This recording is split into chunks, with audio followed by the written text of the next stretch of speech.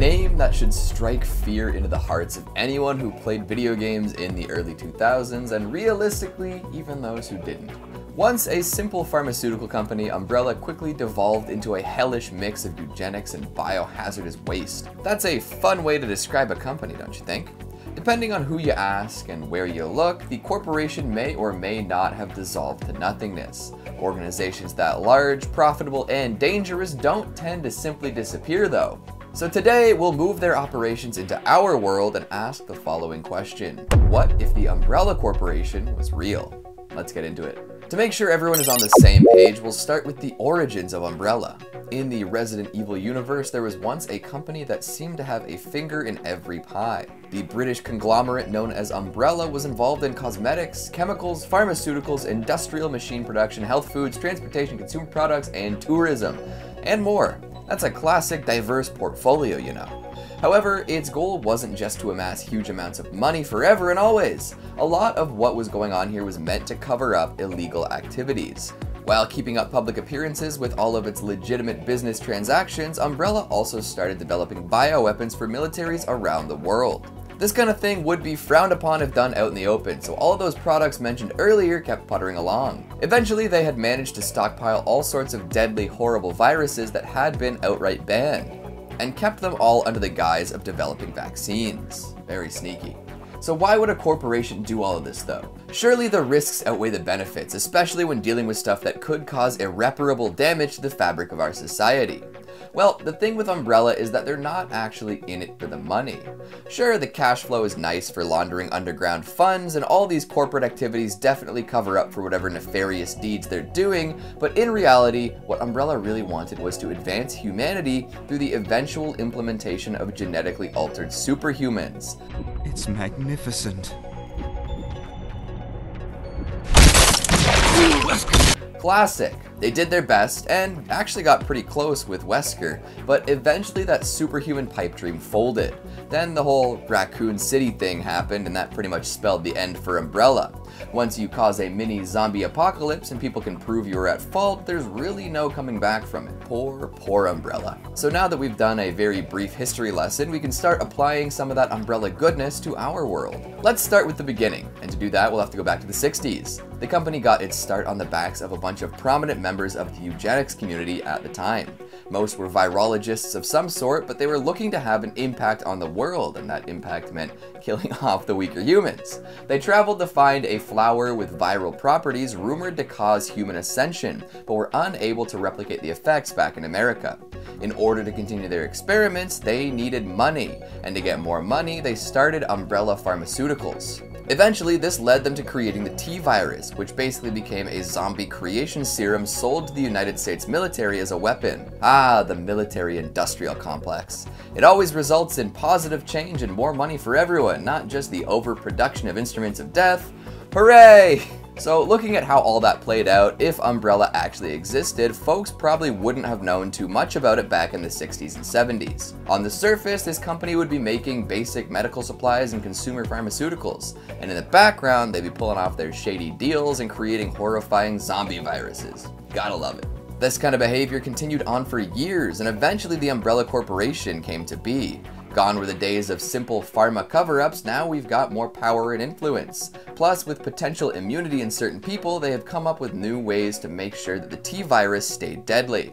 Enter bioorganic weapons, or BOWs, horrid chimeric monsters meant to take out any survivors. These were quickly followed up by the creation of the G-Virus, which was thought to be the superhuman creator that the folks up top had originally imagined. Again, these advances were done in the shadows and only sold to people who could guaranteed clean up after themselves without attracting any sort of unwanted attention.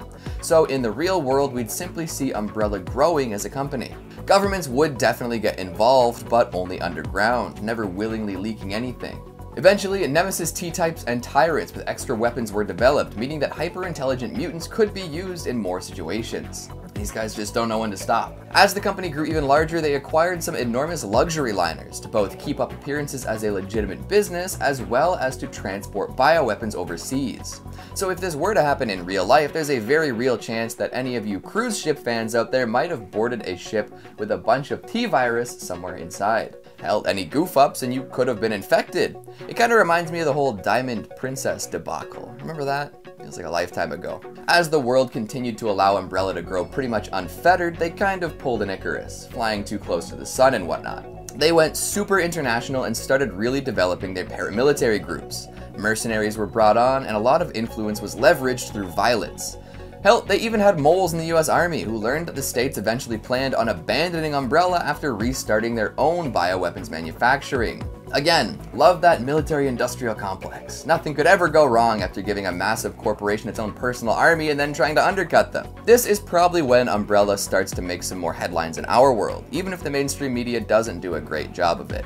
Questions would inevitably be asked about where their allegiances lie and what they plan on doing with all these mercenaries. Of course, Umbrella wasn't the only organization with people on the inside, and thanks to some very sly industrial espionage, it started to destabilize. And when a company that holds that much power and begins to show a little bit of shakiness, you should be worried.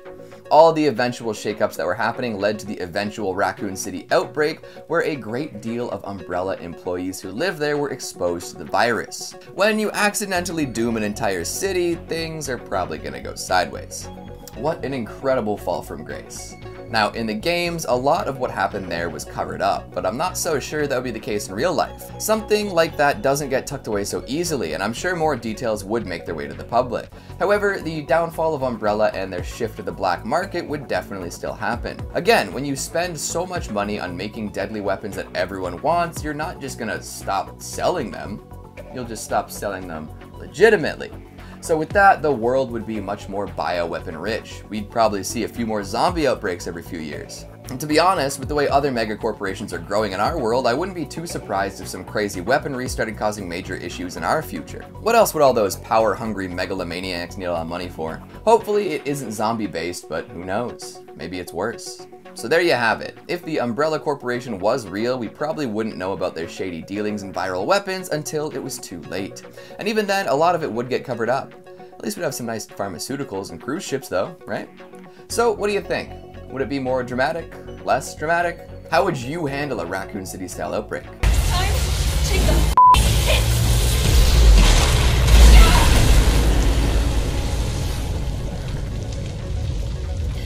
Make sure you let me know down in the comments.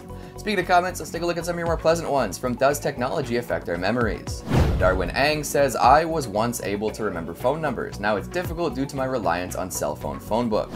You and me both. I feel like I only remember mine and my mom's at this point. Horror Habit says, I've learned a lot from all the information availability. And the more you learn, the more you can learn. It's a good point, but how much of it do you think you can retain long term? And Big Savage G says, multitasking is complete bullshit. People cannot focus on a few things at the same time, and if they do somehow manage to do more than one task at the same time, then everything will be done partially and not sufficiently. I think that is true, but I also feel like a lot of jobs expect multitasking to some degree, probably more than ever before.